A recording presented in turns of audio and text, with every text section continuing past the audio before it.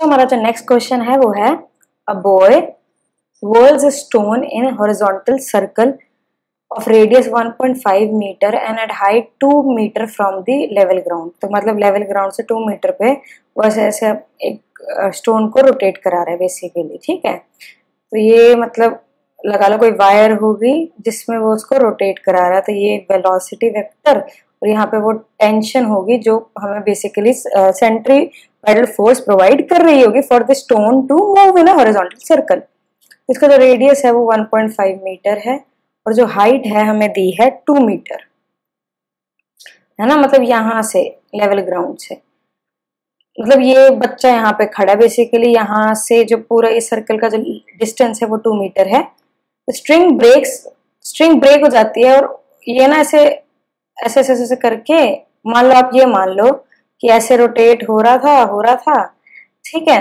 और अगर वो, अगर आप इधर इधर इस पॉइंट पे स्ट्रिंग ब्रेक होगी तो वो ऐसे ऐसे ऐसे करके ऐसे एक उसको ऐसा पाथ मिलेगा ना? तो लगा लो आप मतलब वो उस साइड होगा, है ना? अगर वो ऐसे ब्रेक हो रही है, इधर इधर जब था तो ऐसे करके ऐसे वो नीचे आएगा, क्योंकि ये जो केस हो जाएगा, वो किसका हो जाएगा?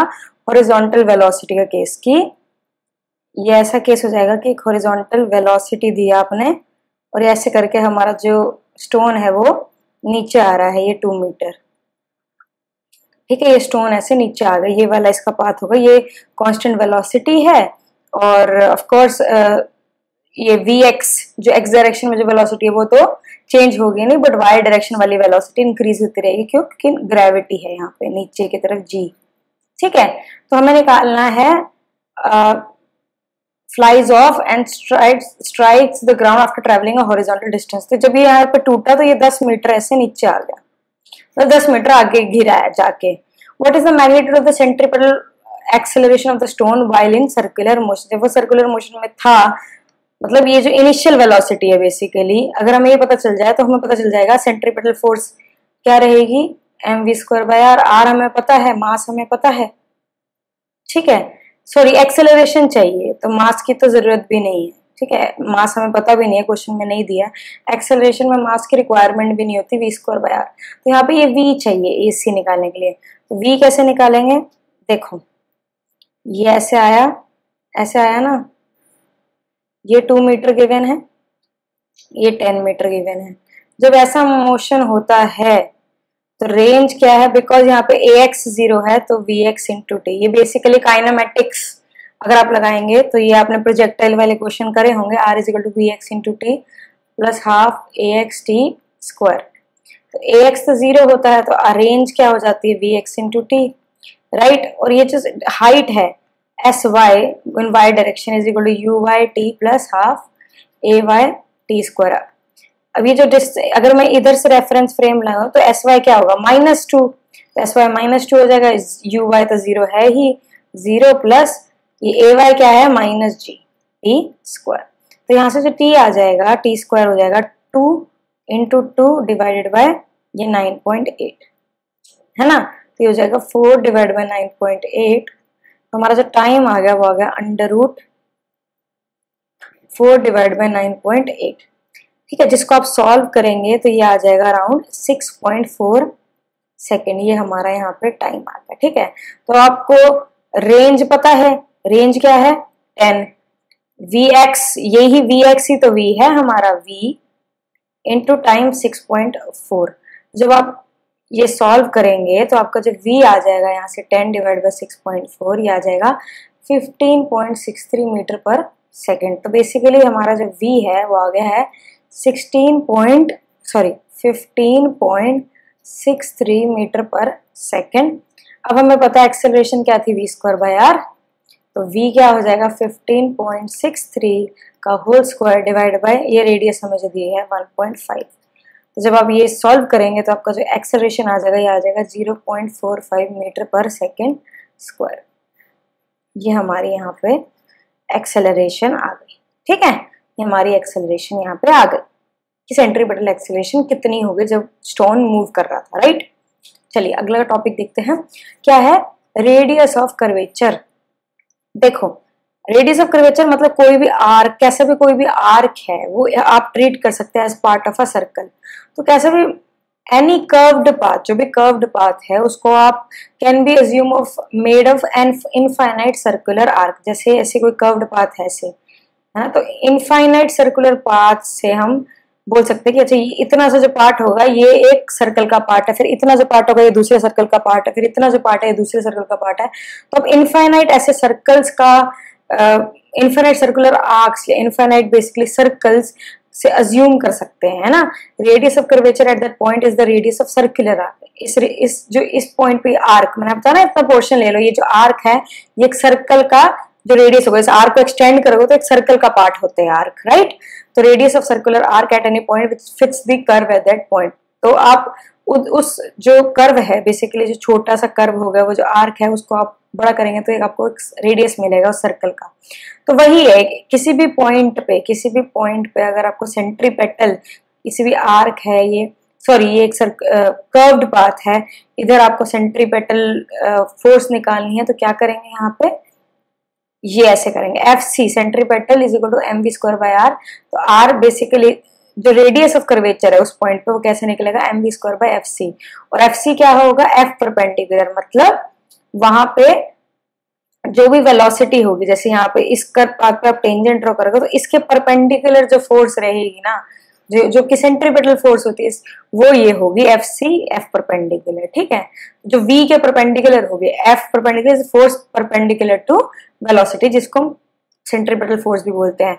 अगर आपको इस कर्व्ड पाथ की इक्वेशन गिवन है तो आप उस इक्वेशन ऑफ़ ट्रेजेक्टरी अगर आपको गिवन है तो रेडियस ऑफ़ कर्वेचर इस फॉर्मूले से आप निकाल सकते हैं, ठीक है? फिर जनरल अगर नहीं दिया है ऐसा कुछ पर्टिकुलर इक्वेशन तो फिर general curvilinear motion man the particle crosses through point a अब वहाँ पे क्या करेंगे? एक वेलोसिटी बना मतलब टेंजेंट बना दीजिए वेलोसिटी उस डायरेक्शन में होगी तो वहाँ एक इमेजिनरी सर्कल बना सकते हैं और a perpendicular v square by r c होगा। अगर आप वहाँ पे सेंट्रीपिटल ए ए परपेंडिकुलर मतलब सेंट्रीपिटल एक्सेलेशन क्या होगा? V square by r c तो आपने एक, एक सर्कल बनाया वहाँ पे। Where r c is the radius of curvature at that point और आर सी निकालने के लिए simply v square by a perpendicular करना तो speed square divide component of acceleration perpendicular to velocity ठीक है? इधर से हमारा क्या निकल जाएगा? रेडियस ऑफ़ कर्वेचर निकल जाएगा उस पॉइंट का। मतलब उस छोटी सी आर के उस पॉइंट पे आप अज्यूम कर रहे हैं। ठीक है? चलिए नेक्स्ट क्वेश्चन क्या है? हमें दिया है एक stone a stone tied to the end of a string eighty centimetre long हमारी स्ट्रिंग है। Is whirled in horizontal circle कल विद कांस्टेंट स्पीड मतलब ये रेडियस क्या है? 80 सेंटीमीटर और ऐसे मूव कर रहा है, ठीक है? Whirled in horizontal circle with constant speed if the stone makes 14 revolutions in 25 second what is the magnitude and direction of the acceleration of the stone देखो डायरेक्शन जो है एक्सेलरेशन हमें पता है मतलब क्योंकि हॉरिजॉन्टल सर्कल कांस्टेंट स्पीड है मतलब यूनिफॉर्म सर्कुलर मोशन है तो ऑफ़ कोर्स सिर्फ़ एक ही एक्सेलेशन होगी जो कि सेंट्रिपिटल एक्सेलेशन होगी। तो ये तो हमारी डायरेक्शन होगी। मैग्नीट्यूड निकालने के लिए क्या करना होता है? वी स्क्वायर बाय आर या ओमेगा स्क्वायर आर राइट ये हमें करना होता है। तो अब आप क्या करेंगे? आप रेडियस आपको पता है रेडियस है 80 डिवाइड बाय 100 तो ये हो जाएगा 0.8 मीटर अगर आपको ओमेगा निकालना है, ठीक है? ओमेगा क्या होता है? ओमेगा होता है बेसिकली ओमेगा एंगुलर वेलोसिटी होती है और वो आप कैसे निकाल सकते हैं? थीटा बाई टी क्योंकि कांस्टेंट स्पीड है तो that means constant angular speed भी है। तो थीटा जो है 14 एवोल्यूशन है ना मतलब 14 इंटू टू पाई ये हो गया टोटल रेडियंस है ना? ये रेडियंस हो गया 14 इंटू टू पाई क्योंकि एक रेवोल्यूशन में आपको टू पाई रेडियंस मिलते हैं, ठीक है? और ये 14 into two pi divide by twenty five right तो ये यहाँ से बेसिकली जो ओमेगा आ जाएगा ये 28 pi by 25 radians per second ठीक है? ये हमारा क्या हो गया? ओमेगा अब आप ए सी निकालेंगे। ए सी है omega square by r omega square into r तो ओमेगा क्या हो जाएगा यहाँ पे? ये. ये ओमेगा है ना हमारा? 28 pi by 25 whole square right है ना? ये into radius which is equal to zero point eight ठीक है तो जब आप इस चीज़ को सॉल्व करेंगे तो आपका आ जाएगा ए सी आ जाएगा 9.9 मीटर पर सेकेंड स्क्वायर ये हमारी एक्सेलरेशन हो जाएगी. Magnitude of the acceleration towards the end what is the direction always towards the centre ठीक है तो जो हमारा नेक्स्ट क्वेश्चन है वो ये है कि हमें दिया हुआ है कि मेटल रिंग है of mass m and radius r is placed on a smooth horizontal table and set rotating about its own axis in such a way that each part of the ring moves with velocity v find the tension in the ring हमें ये जो ring है, इसकी tension निकालनी है। ये जो diagram दिया है, यहाँ पे ये पाई की जगह डेल्टा थीटा है। ठीक है? तो आपने बेसिकली क्या करा? इतना सा आर्क ले लिया। जिसका जो टोटल एंगल है डेल्टा थीटा ये डेल्टा थीटा बाय टू है और ये डेल्टा थीटा बाय टू ठीक है? अब आप देखिए रिंग जब रोटेट करेगी, वही रिंग रोटेट करेगी तो डेफिनेटली जब कोई चीज़ रोटेट करती है, अगर मैं रिंग के रेफरेंस फ्रेम में लूँ तो एक सेंट्रीफ्यूगल फोर्स होनी चाहिए। एक सेंट्रीफ्यूगल फोर्स लगेगी ना इस पर बाहर की तरफ़, है ना? अवे फ्रॉम द रेडियस है ना? अभी अभी हमने डिस्कस करा था कि सेंट्रीपेटल फोर्स होती है, जो बेसिकली क्या कराती है? रोटेशन मोशन कराती है। तो अगर आप एक नॉन इनर्शियल रेफरेंस फ्रेम से लेते हैं तो एक सेंट्रीफ्यूगल फोर्स भी होती है। तो बेसिकली इसको बाहर की तरफ़ खींचेगी ऐसे इस रिंग को, बाहर की तरफ़। तो कोई तो चीज़ होगी ना जो उस, ये बाहर की तरफ़ फोर्स लग रही है तो उसको कोई चीज़ फोर्स होगी जो अंदर की तरफ़ भी लग रही होगी बैलेंस करने के लिए, है ना? क्योंकि ये रिंग टूट के तो बाहर जा नहीं रही है तो दैट मीन्स ये जो दो पॉइंट आप ले रहे हो, इधर ऐसे टेंजेंशियल टेंशन टेंशन लगी हुई है, और इसके इसके जो आप बेसिकली देखेंगे कंपोनेंट हो गए, जैसे ये कंपोनेंट हो गया ये कंपोनेंट ये कंपोनेंट ये कंपोनेंट ये कंपोनेंट है ना? ये कंपोनेंट ये कंपोनेंट ऐसे। तो बेसिकली ये टेंशन है, ये एक, ये कंपोनेंट हो गया, ये कंपोनेंट ये वाला और ये टेंशन सेम हो गया कांस्टेंट स्पीड में जा रहा है। ठीक है, और एक ही रिंग है ना तो ये टेंशन सेम होगी। तो अगर मैं इस एंगल को लेट से अल्फ़ा लेती हूँ तो ये क्या हो जाएगा टी कॉस अल्फ़ा और ये ये वाला भी क्या हो जाएगा, ये वाला एंगल हम ले रखे हैं तो ये टी कॉस अल्फ़ा हो जाएगा।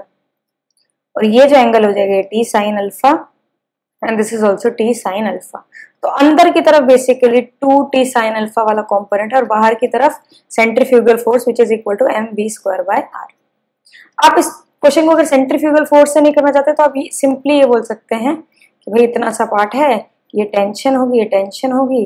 तो टेंशन का जो ये वाला कंपोनेंट है which is equal to two t sine alpha वो क्या है? सेंट्रीपेटल फोर्स प्रोवाइड कर रहा है रोटेशन मोशन के लिए और सिंपली ऐसे भी लिख सकते हैं, एक ही बात है, ठीक है?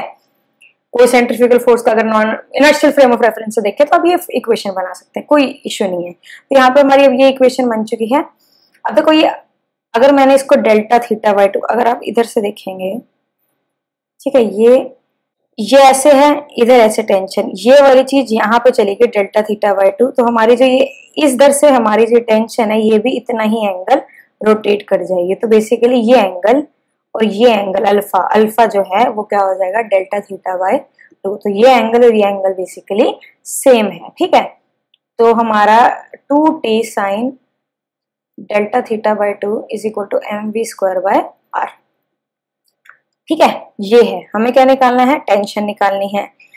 ओके okay, अब डेल्टा थीटा बाय टू ये सब हमारे क्वेश्चन में नहीं दिया हुआ है। ये सिर्फ़ हमने अज्यूम करा इसको हम क्या करेंगे? इसको रिप्लेस करना पड़ेगा। क्वेश्चन में आर है आर है वी है, ये वाली चीज़ नहीं है। तो देखो अच्छा ये दिया है मास इसको हम यूज़ कर लेते हैं, ठीक है? तो अब ये देखो, ये पूरा एंगल डेल्टा थीटा है, ये डेल्टा एम मास हो गया, इस, है ना? सॉरी ये जो यहाँ पे del m v square by r लिखा हुआ है डेल्टा एम मास क्योंकि ये सिर्फ़ इतने मास के लिए ही है। तो ये डेल्टा एम मास आएगा, है ना? तो क्योंकि ये जो इतनी जो टेंशन है इस मास पे लग रही है तो ये डेल्टा एम आ जाएगा, यहाँ पे डेल्टा एम आ जाएगा, ठीक है?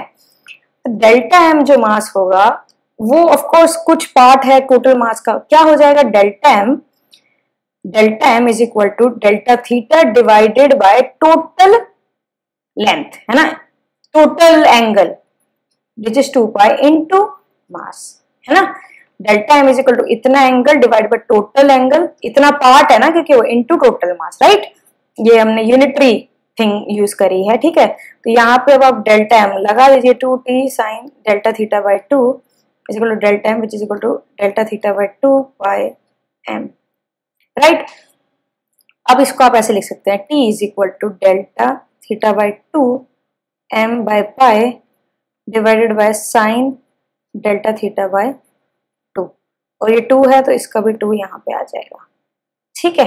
ये हमारे पास वो आ गई और सॉरी ये वी स्क्वायर बाय आर भी है यहाँ पे। तो ये क्या हो गया? वी स्क्वायर बाय आर तो यहाँ पे इसको लिख लेते हैं डेल्टा थीटा बाय टू एक टू है एक्स्ट्रा यहाँ पे ये टू नीचे पड़ा है। ठीक है? इधर क्या है? Sine delta theta by two m v square by pi r ये।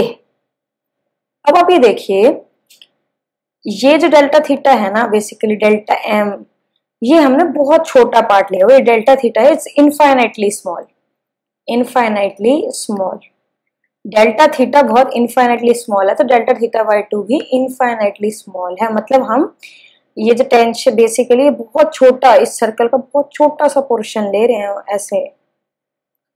ठीक है, बहुत छोटा सा पोर्शन ले रहे हैं। दूर वाला पोर्शन नहीं ले रहे हैं, बहुत छोटा सा पोर्शन ले रहे हैं, ठीक है? राइट तो ये जो पोर्शन है इनफाइनेटली स्मॉल है तो हम ऐसे लिख सकते हैं कि delta theta by two approach zero और जब एक हमारे पास ये होता है ना sine x over x limit x tends to zero sine x ये क्या होता है? वन तो यहाँ पे ये वाली जो पूरी चीज़ है delta theta by two over sine delta theta by two ये चीज़ क्या हो जाएगी? वन तो हमारे पास आ जाएगा m v square by two by r ठीक है, ये बेसिकली क्या आ जाएगी? हमारी टेंशन ठीक है, यहाँ पे जो हमारी टेंशन आ गई, वो क्या आ गई? M v square by two by r ये हमारी टेंशन आ गई, ठीक है? सिंपल सा क्वेश्चन है, इसको दोबारा देखना आपको बहुत इजीली समझ आ जाएगी कैसे हमने कॉन्सेप्ट लगाया और क्वेश्चन को सॉल्व करा है, ठीक है? नेक्स्ट क्वेश्चन क्या है अपना? हमें दिया हुआ है कि सिंपल पेंडुलम है is constructed by attaching a bob ये एक बॉब लगा दिया यहाँ ऑफ़ मास एम और to a string of length L fixed at its upper end. The bob oscillates in a vertical circle. It is found that the speed of the bob is v when the, इस time जब ये alpha angle बना रहा है vertical के साथ, तब speed v है, ठीक है find the tension in the string and the magnet of the net force on the bob at at the instant. इस टाइम पे इसकी टेंशन और नेट फोर्स क्या होगी बॉब पे हमें ये बताना है। तो हमें दिया है बेसिकली ये वर्टिकल सर्कल है तो ये अगर टेन मतलब अगर ये है हमारी टेंशन तो डेफिनेटली ये ऐसा पूरा मतलब ये ऐसे मूव करेगा राइट ऐसे मूव करेगा, ये हमारी टेंशन है, ठीक है?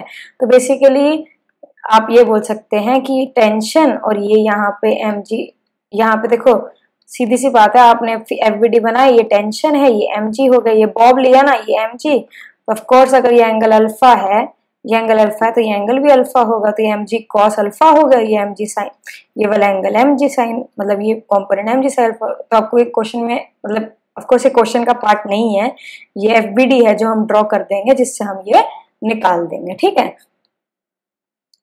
तो T minus m g cos alpha is equal to ये जो नेट है नेट फोर्स जो कि टुवर्ड सेंटर है, ये क्या होगी? सेंट्रीपेटल फोर्स प्रोवाइड करेगी right this is equal to centripetal force ठीक है?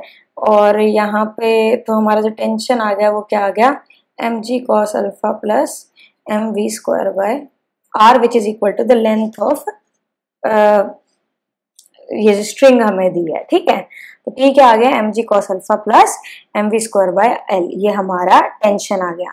नेक्स्ट हमें जो निकालना है निकालना है magnitude of net force on the bob net force क्या है? ठीक है? तो बेसिकली आप ये देख लीजिए कि यहाँ पे दो फोर्सेस हैं। ठीक है? दो फोर्सेस हैं। एक तो ये सेंट्रीपेटल वाली फोर्स है ना? क्योंकि ये टी माइनस एम जी को अल्फ़ा वो जो नेट फोर्स है, वो सेंट्रीपेटल फोर्स है, एक ये जो है, जो इधर लग रही है एम जी साइन अल्फ़ा और ऑफ़ कोर्स ये और ये परपेंडिकुलर है तो हमारी जो नेट फोर्स हो जाएगी नेट वो क्या हो जाएगी? Under root f c square plus m g sine alpha whole square तो ये हो जाएगा m square g square sine square alpha plus f c क्या? M v m v square by r which is equal to m square v square by r square तो ये M अगर आप बाहर ले लेंगे तो एफ़ सी आ जाएगा। एम बाहर ले लिया तो एफ़ सी आ जाएगा। G square sine square alpha plus v square by r यहाँ पे एल है तो v square by l square ये हमारी नेट फोर्स आ जाएगी। सेंट्री सॉरी सेंट्रीपेटल फोर्स नहीं, ये नेट फोर्स है right this is net force